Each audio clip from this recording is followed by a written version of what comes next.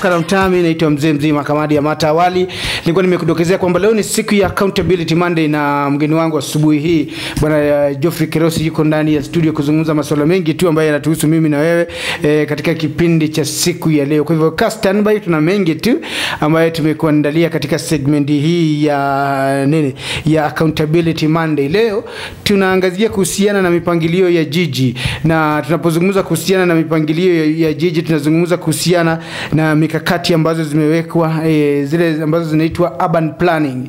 E, ndio saizi unaona kwamba matatu haziruhusiwi kuingia katikati mwa jiji, unatembea kidogo. Kwa mfano kama unatumia barabara zote za Ngong utashukishwa kule maeneo ya railways. Kama unatumia barabara ya Waiyaki Way e, pengine mwisho wako wa kufika katikati mwa jiji itakuwa ni Serena na not Waiyaki Way. Kama unatumia Uhuru Highway mwisho wako ni Serena. Kama utakuwa unatumia barabara za Waiyaki Way then utashukishwa kule Fig Tree. Kuna kuna lingana na terminus gani? Kuna terminus A, kuna B mpaka D kulingana na jinsi barabara hizo zilivyopangwa, na miongoni mwa masuala mengi tu ambayo itakuwa inaangaziwa kwa undani zaidi. Kwa hivyo sana, karibu sana bwana Kerosi katika studio zetu asubuhi. Asante sana. Eh, karibu sana tena mjini Nairobi. Asante sana bwana Amata. Yes. Ndio. Kumekuwaje kule maeneo ya Mombasani? Mombasani saizi choto ndio mingi. choto ndio mingi sana sana sana. Karibu sana. Eh. Tunapozungumza kuhusiana na urban, pla, uh, urban planning, nini mm. ambacho mwananchi anahitaji kujua? Eh, mambo ya urban planning ni vile ambavyo ni vile ambavyo mji unatakikana kupangwa ama wamepanga mji ukue. Kuna sehemu mbalimbali katika hapa ni planning una, unapata vile wanataka ikue. Kwa mfano eh, wakati wa Mheshimiwa Kidero, wakati alikuwa governor, alitengeneza plan ambayo ilikuwa inaitwa Nairobi Integrated Urban Development Master Plan Ndio. NIUPLAN. Hiyo sasa, hiyo plan ndio iko na vile Nairobi inatakikana kuonekana mm -hmm. into the future. Ndiyo. Kwa sababu sahisi ukiangalia Nairobi haionekani vizuri sana. mm -hmm. Eh, kuna congestion, mm -hmm. kuna mambo ya even housing, Ndiyo. nyumba mba, vile zimepangwa unapata even mahali kunatakikana kuwa na residential unapata kuna eh, kuna commercial housing Yes. like uh, a ora or a restaurant iko ndani ya mahali watu wanakaa e, ndani ya estate. Ndiyo. pia umeona wakichenga barabara mpya kama Ngong Road. Hiyo sasa iko under the new plan the master plan. Eh, lakini vile eh, nimefanya analysis ya budget nimeona ya kwamba hiyo master implementation of the master plan itakuwa slow. Kwa kwa sababu budget inasema otherwise. Unajua wanasiasa wakiongea wanaongea mambo makubwa makubwa eh, kwa mfano baadaye tutaangalia hiyo mambo ya master plan. Lakini yale ambayo yako kwa budget sasa ndio kusema. Because if you want to know whether government is committed to something uh, look at this budget. Hapo ndio utajulia. Kuna tofauti gani kati ya hii master plan na ile eh, eh, plans za kawaida zile annual development plan, kuna CDIP, kuna tofauti gani? eh, zile annual development plan county integrated development plans hizo ni za kifedha vile unapanga vile utatumia fedha Ndio. lakini master hapa ni plan ni kama unajua wakati unajenga nyumba lazima ukuwe na ile plan ya nyumba mm-hmm. house plan eh? sasa master hapa ni plan ni ile inaonyesha vile ni nini itakuwa wapi kwa mfano nairobi ili kutoa congestion lazima mtu afikirie in future vile tutafanya Ndio. labda tukuwe na right railway ama kukuwe na underground something yenye inapita underground kama, kama like in other developed countries. So it is kind of a, a fiscal plan. Ndio. vile, vile hii nairobi county or nairobi city itaonekana in future. What will be where?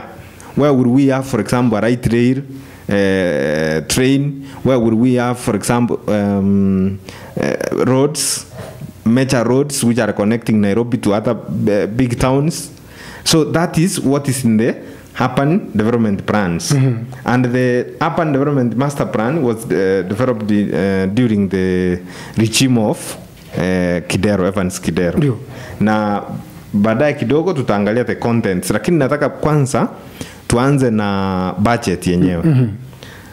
i was surprised wakati niliona kwamba budget ya urban planning unajua kuna department ya urban planning Ndio.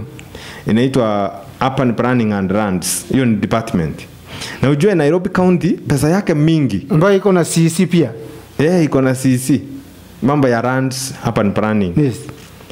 uh, I was surprised wakati nikiangalia budget kwamba eh, budget ya urban planning inaendelea kudidimia kila mwaka kuanzia 2016 2017 kwa mfano saizi ni 2018 2019 budget iko 590 million Mhm. hii, hii pesa ina, tutaangalia inafanya kazi gani number one inafanya urban planning kwa hivyo ile, ile master plan inatakikana kuwa implemented by this department it is, it is taking read eh? mm-hmm. aya alafu ukiangalia hiyo budget from the previous years in 2016 2017 budget ilikuwa 748 million ndio last year ikapunguka to 667 million.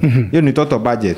So hizi- ni millions. Zinafaa ku, ku, ku, kuimplement eh, master plans. Hizi hii budget unajua kuna wale wafanyikazi wanafanya kwa hiyo department. Dio. kama hapa ni planners kuna wale even architects wale watu ambao wanajua mambo ya hapa ni planning wanakaa kwa hiyo department. Mm-hmm. even engineers wanakaa hapo. But those who are in, uh, who are in charge of urban planning those who are in charge of land survey because the town has to be surveyed well. Mm-hmm. previously before we started thinking about this new urban plan nairobi ilikuwa ina operate on, on, a plan which was developed by the uh, colonial masters. Hiyo plan inamaanisha ni ya kitambo sana. Mm-hmm.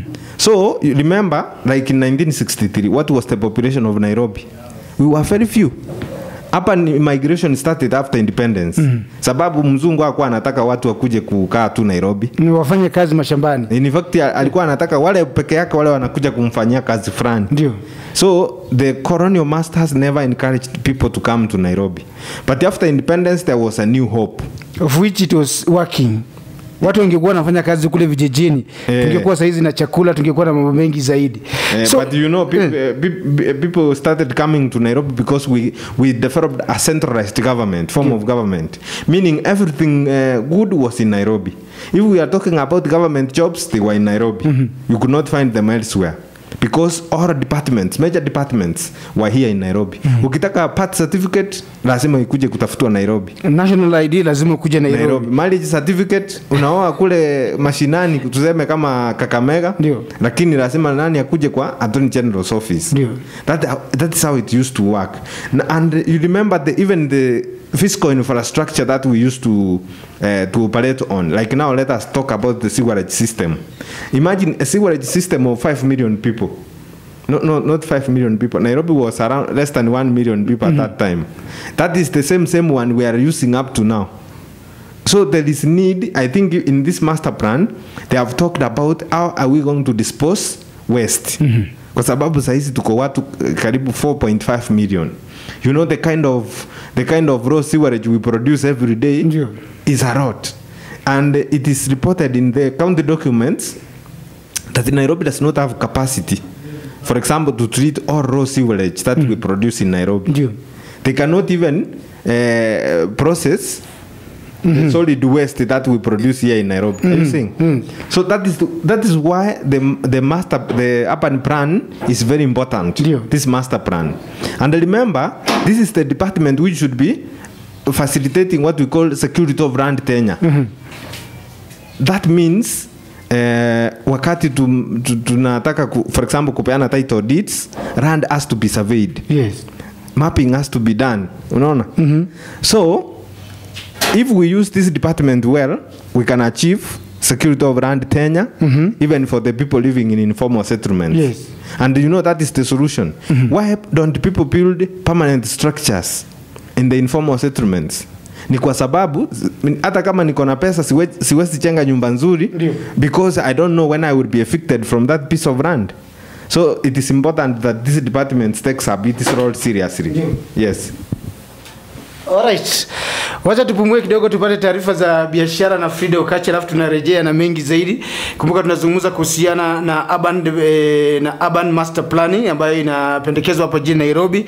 Mojawapo ya hizo ni hizo implementation za kupigwa marufuku matatu kuingia katikati mwa jiji la Nairobi. Kwa hivyo ukiona mambo kama haya yanatokea, usikuwe mwepesi wa kurusha mkono, kuwa mwepesi wa kufurahia kwamba ni mabadiliko ambayo yanakuwa implemented eh, to better the services hapa mjini Nairobi.